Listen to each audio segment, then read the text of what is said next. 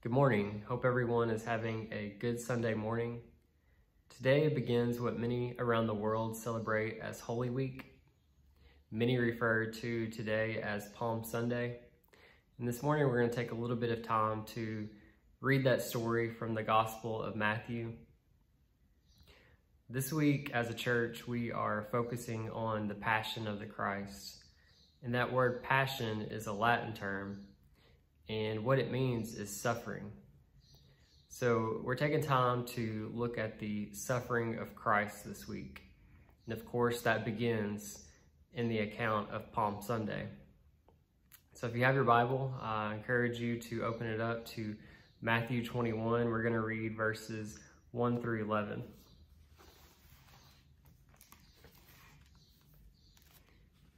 It says, As they approached Jerusalem, and came to Bethphage on the Mount of Olives, Jesus sent two disciples, saying to them, Go to the village ahead of you, and at once you will find a donkey tied there, with her coat by her.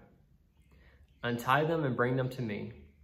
If anyone says anything to you, tell them that the Lord needs them, and he will send them right away. This took place to fulfill what was spoken through the prophet. Say to the daughter of Zion, See your king comes to you, gentle and riding on a donkey, on a colt, the foal of a donkey. I want to pause there to express some thoughts.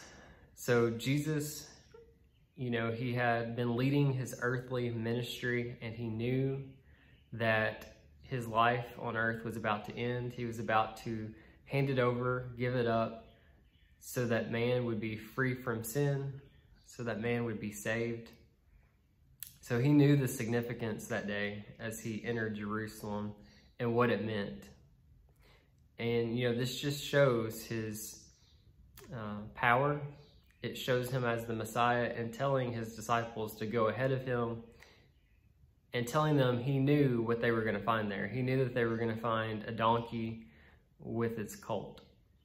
You know, he had those powers. He had uh, God's all-knowing, and that is certainly expressed through Jesus. And of course, we know that him uh, entering Jerusalem on this donkey fulfilled scripture, and that scripture was quoted in the verses we just read.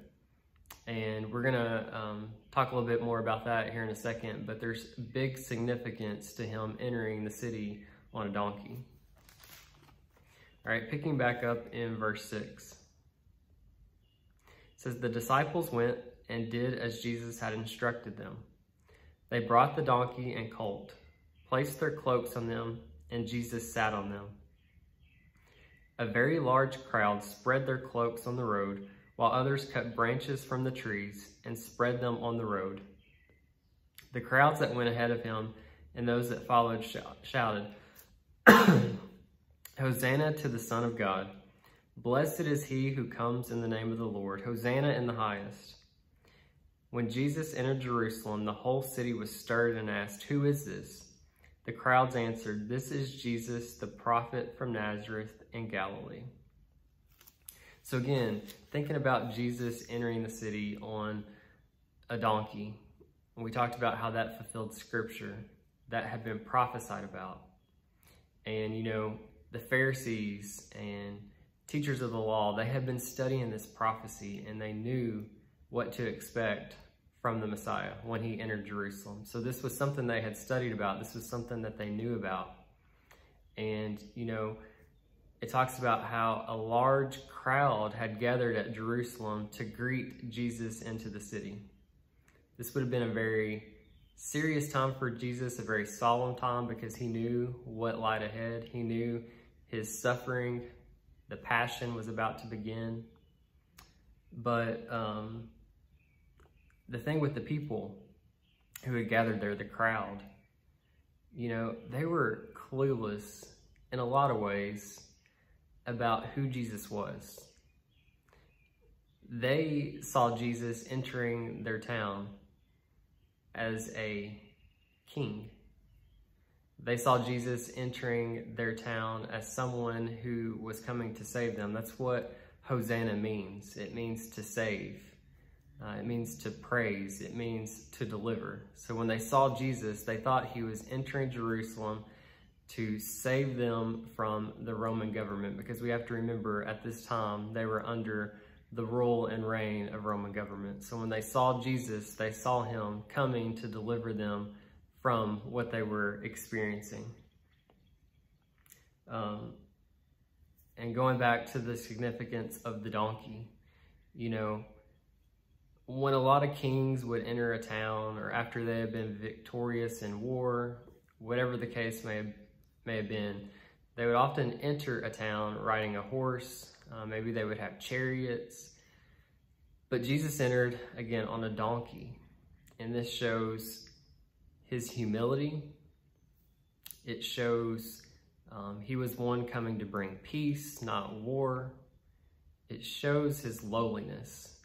So there's a lot of symbolism surrounding him entering the city on a donkey. It talks about how they um, were waving palm leaves and some, some of them laid them in his pathway. They were also laying down uh, coats and cloaks.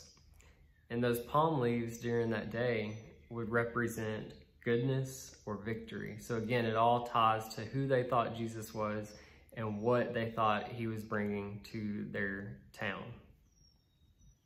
But what's so ironic, again, is who they thought he was. They didn't know, they didn't begin to know what Jesus was bringing to them. He had been telling them as he went about his earthly, earthly ministry what was to come, but they did not fully understand. Um, as he entered the city that day, they were excited. They were shouting things like, Hosanna. They saw things from an earthly perspective. But by the end of the week, we know that Jesus is suffering.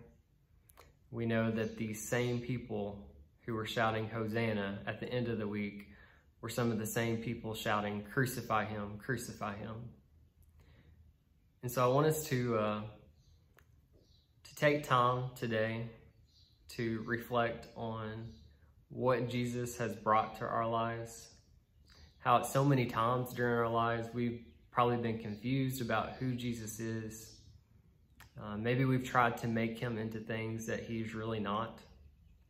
So this morning I encourage us to again reflect on these accounts, reflect on the passion of the Christ. We're going to be doing this each day this week. We're going to have some different people do some videos. And of course, Wednesday night, we're going to have our candlelight Passion of the Christ service. But spend time reflecting on the passion, the suffering of the Christ, and thinking about what he has truly brought to our lives, and that's victory over sin and victory over death. Like I said, sometimes we just try to make Jesus into so many different things. Maybe we've been misled about who he is. But God's word gives us a clear picture of who he is, what he came here to do, what he's doing in our lives now, and what he's going to bring to us. Hope everybody has a great Sunday worshiping him. Hope to see everybody here shortly. I'm just going to end us in a quick prayer. Let's bow. Father, we thank you today for your love and for your grace. Father, we thank you for Jesus and him being king. Father, this morning we do say to you, Hosanna, because Jesus did bring deliverance. He brought salvation. And Father, we are praising you today for what we have through him. Father, help us to know his suffering. Help us to know what he endured for us. And Father, we just pray that we hold those things dear in our heart. Father, we pray that we celebrate them. We know that this time of the year becomes so many different things for so many different people, but we pray that we reflect on Christ even more this week, but just especially every day. We just pray that you'll forgive us where we fall short. In Christ's name we pray. Amen.